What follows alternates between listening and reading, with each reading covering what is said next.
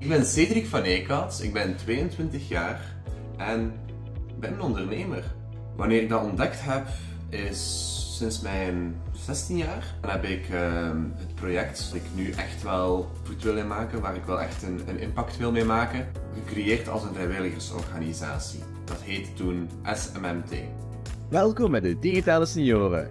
Wij zijn een groep vrijwilligers die jou willen meekrijgen in deze technologische wereld. Ik wil de oudere generatie meekrijgen in deze digitale wereld. Passie zit bij mijn eigen grootouders. Het, het, het modernste wat ze hadden was een CRT-televisie, echt zo'n grote dikke bak. Ik heb ze meegekregen met, uh, met een telefoon. Ik wil de oudere generatie meekrijgen. Vocatio, hun steunbedrag en het netwerk gaat het project een stukje verder helpen dan dat ik het zelf zou kunnen krijgen.